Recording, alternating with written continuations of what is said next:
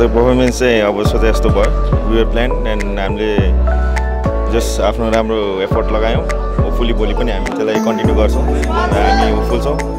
यसलाई अझ इलेक्ट्रिफाइङ अझ यसलाई एनर्जेटिक